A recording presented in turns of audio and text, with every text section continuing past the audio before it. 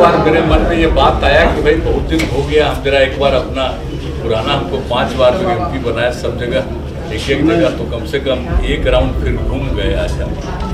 मतलब निजी मेरी यात्रा, हम निजी तौर पर आ रहे हैं, बाइक वाइक पर हम नहीं बोलते हैं निजी तौर पर सब लोगों से मिल रहे हैं सब लोगों का सुन रहे हैं।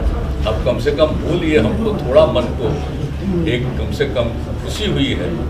कि इतना हम घूमते रहते थे पहले याद है ना, पैदल ना चलना पड़ता था बाकी जगहों पर।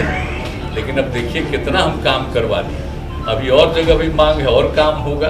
अपने जन्म स्थान बख्तियारपुर जब नीतीश कुमार पहुँचे तो कार्यकर्ताओं में तो उत्साह था ही, लेकिन अपने लोगों से मिलकर नीतीश कुमार में भी उतना ही उत्साह था। देखिए किस तरह उन्होंने कहा कि बिना माइक के हम ऐसे ही सीधी बात करेंगे। और फिर लोगों से बात करना शुरू किया। सुनिए कि बख्तियारपुर के लोगों में और नीतीश कुमार के बीच क्या बात हुई। उसी की बात है। एक करके दीजिएगा। पाँच बार हमको एमपी बना के रखे। हमारा जन्म यही हुआ। हम सब जगह घूमते ही रहे बैठ जाइए भाई आप लोग बैठ जाइए सोलह साल से बिहार की सेवा में लगे लेकिन जितना पहले घूमते थे उस तरह से आने का मौका नहीं मिलता है लेकिन एक बार मेरे मन में ये बात आया कि भाई बहुत दिन हो गया, हम जरा एक बार अपना पुराना हमको पाँच बार जो एमपी बनाया सब जगह, एक एक जगह तो कम से कम एक राउंड फिर घूम गए आज आज उसका आखिरी दिन है। छः जगह हम वो लिए पुराना जो अपना था, पार्ट पार्लियामेंट्री कंस्टिट्यूंसी सब जगह बहुत लोगों से मिले। आज भी पूरा का पूरा कितना लोगों से मिलते हुए कितना जगह बैठते हुए। सब जगह से होकर बड़ी खुशी पहले तो सब जगह घूमते ही रहते थे। लेकिन इधर दूसरे काम में रहने के कारण इस बार तो हम सोचे हुए थे पहले ही आने का लेकिन और जब सोचे थे कि चक्कर लगाएँगे तो उसी बीच में एमएलसी के चुनाव का ऐलान तो चूँकि लागू हो गया है। नियमों के मुताबिक इसलिए कोई सार्वजनिक कार्यक्रम नहीं। मतलब निजी मेरी यात्रा, हम निजी तौर पर आ रहे हैं। माइक वाइक पर हम नहीं बोलते। हैं निजी तौर पर सब लोगों से मिल रहे हैं, सब लोगों का सुन रहे हैं। अब कम से कम भूलिए हमको थोड़ा मन को। एक कम से कम खुशी हुई है कि इतना हम घूमते रहते थे पहले। याद है ना, पैदल ना चलना पड़ता था बाकी जगहों पर। लेकिन अब देखिए कितना हम काम करवा दिए।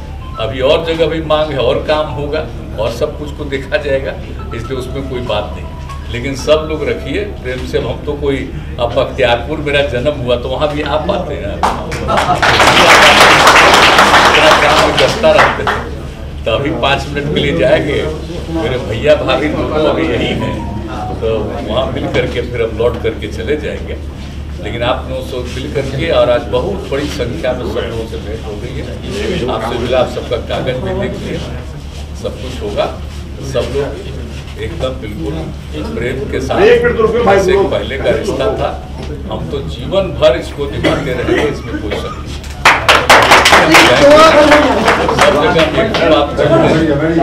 पहले के लोगों को मालूम है कि हम जिस तरह से करते थे कि आपस में प्रेम और भाईचारा होना चाहिए। तो नई पीढ़ी के बच्चे बच्चियों को भी प्रेम और भाईचारे का ही शपथ दिलाइएगा, सबको सिखाइएगा, ताकि समूचे समाज में प्रेम का भाई रहे, भाव भाव, भावना रहे, भाईचारे का भावना रहे।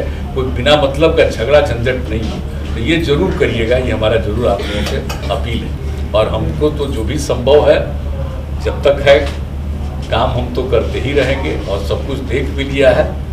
और अभी भी कुछ दिन पहले आ करके गंगा नदी से जो फिर भी प्रभावित है एक एक चीज़ देख करके, और कहाँ पर भी नया कैसे और बन रहा है, और फिर गंगा किनारे बाद में और भी कुछ बनेगा, सड़क जो भी पटना में बन रहा थी सब चीज़ का हो रहा है, और बाकी सब गाँव का करा दिया, अब कहीं कोई दिक्कत है तो वहाँ पर भी उसको देखा जाएगा कि काहे कोई दिक्कत है तो हम लोग सब जगह का देख भी रहे और सर्वे भी पूरे बिहार का करवा रहे हैं तो सब काम तो हम करते रहेंगे, लेकिन ज़रूर आपस में प्रेम और भाईचारे का माहौल रखिएगा। यही हमारा आप सब लोगों से आग्रह और इतना ही। बहुत बहुत धन्यवाद। लाइव बिहार यूट्यूब पर सब्सक्राइब और फेसबुक पर लाइक ज़रूर करें।